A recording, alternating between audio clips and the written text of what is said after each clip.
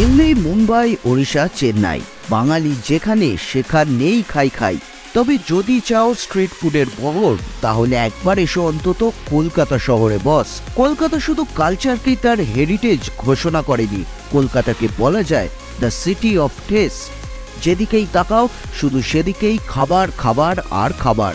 ফুচকা থেকে বিরিয়ানি, চীন থেকে জাপানি, সব খাবার পাওয়া যায় কলকাতায়। তার নিজস্ব স্টাইলে যেটা একেবারে ইউনিক আর এই ইউনিকনেসটাই তো কলকাতার স্ট্রিট ফুডের ওয়াও ফ্যাক্টর চিত্ত জেথা স্বাদে পূর্ণ উচ্চ জেথাশীর হ্যাঁ একজন বাঙালি বহু আগে ঢাকা থেকে কলকাতায় এসে একটা দোকান খোলেন। সেই থেকেই চিত্তদা আজও ফেমাস কোথায় বলুন তো? জেমসিকি সরণিতে। জেমসি সরণি? সেটা কোথায়? জেমসিকি সরণির পথ চলতি নাম টেকার্স লেন যাকে কলকাতার স্ট্রিট ফুডের প্যারাডাইস বলা যেতে পারে।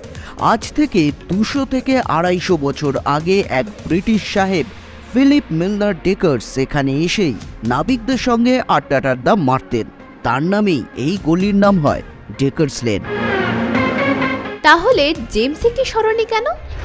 আগে সেটাও একটা ইতিহাস। জেমসিকি সেই ব্যক্তি যিনি এশিয়ার প্রথম নিউজ পেপারটি পাবলিশ করেছিলেন এই কলকাতা থেকেই। নাম ছিল বেঙ্গল গ্যাজেট। এই উইকলি পত্রিকার তহরম মহরম এমনই ছিল যে সেই সময় থেকে টিল নাও হি কি remains in our heart okay এখন তো শুধু হার্ট নয়, হাতও লাগাতে হবে। Come let's explore Dacres lane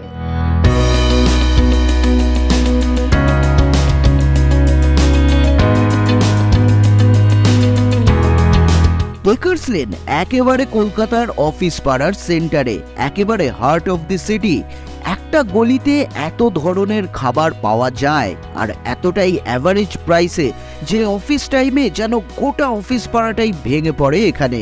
মানে এক কথায়, গোটা অফিস পাড়াকেই দিনের পর দিন খাবার সার্ভ করছে এই ডেকার্স লেন কেউ চায় লাঞ্চে ভাত, ডাল, পোস্ত, আর কেউ চায় চিত্তবাবুর স্টু অ্যান্ড টোস্ট আজ আমরা চলে এসেছি কলকাতার একটা আইকন চিত্তবাবুর দোকানের সামনে, আর এখানকার স্পেশালিটি হলো স্টু এবং টোস্ট আর প্রতিদিন কত শত মানুষ আসেন এখানে খাওয়া দাওয়া করতে। আজ আমরা জেনে নেব কীভাবে চিত্তবাবুর দোকান হয়ে উঠেছে পুরো কলকাতার একটা আইকন ইনি সন্দীপ রায়, চিত্তবাবুর পরবর্তী প্রজন্ম। যিনি এখন চিত্তবাবুর এই দোকান সামলাচ্ছেন হই হই করে। চিত্তবাবু হচ্ছে আমার জ্যাঠামশাই। ওই জেনারেশন ওয়াইজ চলে আসছে। চিত্তবাবু মানে শিরিষবাবু প্রথমে, তারপর চিত্তবাবু, তারপর আমার বাবা, নারায়ণবাবু, তারপর জ্যাঠু দাদারা রয়েছে সমীর বাবু সুজয় বাবু সমীর রয় সুজয় রায় আর তাদের সাথে আমি হেল্প করে দিচ্ছি। আমরা প্রথমে কোনো রেস্টুরেন্টে গেলে কি হয়? যে আমরা মেনু কার্ড চাই, তাই তো? এখানে কাস্টমার এসে আমাদের জিজ্ঞেস করে আপনি বলুন কী খাব? বেশিরভাগই আলুদম পাউরি ঘুগনি পাউরি খাই তাও বেশি বেশি স্টু ফু খাই। আর সন্ধ্যেবেলার দিকে আসলে একটু পকোড়া ফকোড়া এই সমস্ত খাই। শরীর তো শরীর খারাপ হয়নি শরীর ভালো হয়ে গেছে। শুধু খেলে হবে সঙ্গে কত বিক্রি বাটা হয়। প্রি কোভিড আর পোস্ট কোভিডেই বা টেকার্স লেনের ফুড বিজনেসের কি হাল সেটাও তো জানতে হবে। চলছে এখন ঠিকই আছে।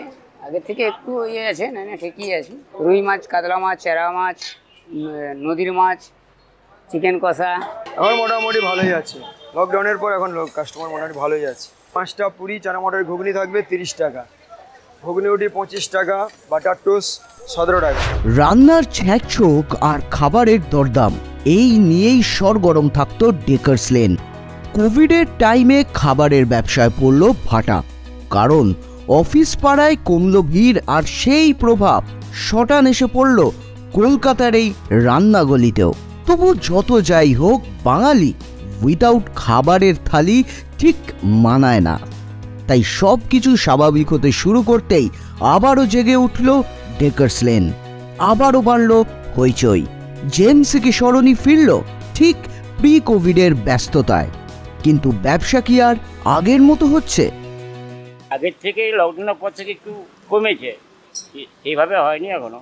চিকেন স্টু ফিশ ফ্রাই প্রায় সব খাবারই এখানে। কোনো খাবারটা খারাপ না। সব খাবারই ভালো। চিকেন স্টুটা ফেমাস সব থেকে বেশি। অনেক সেল আগের চেয়ে অনেক কমে গেছে কিন্তু এবার আস্তে আস্তে উঠছে সবচেয়ে বেশি ভিড় হয় দুপুর টাইমটা মানে একটার পর থেকে সাতটা ছটা অবধি ভিড় থাকে। এ টু জেড খাবারের জিনিস সব কিছুই পাওয়া যায়। ডেলি আমাদের পাঁচ ছ হাজার টাকা সেল হয়।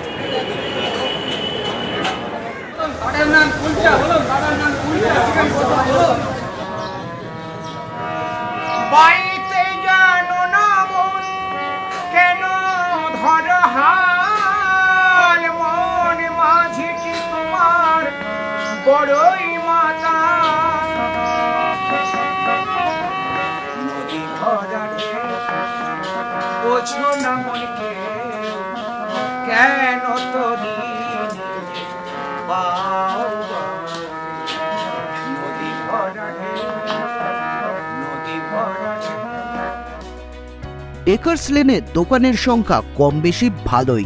যত দুপুর গড়ায় ততই দোকানগুলোয় ভিড় বাড়তে শুরু করে। আর শুধু অফিস পাড়ার লোকেরাই নন, এই গলিতে খেতে আসেন আরও অনেকে। তাই ডেকার্স লেনে ঢুকলে রান্নার শব্দ আর খাবারের গন্ধে দিল এক্কেবারে খুশ। তাই ফুড লাভারদেরও যখন তখন পা পড়ে ডেকার্স লেনের গলিতে। এখন আমার হাতে রয়েছে চিত্ততার দোকানের আইকনিক ডিশ চিকেন স্টু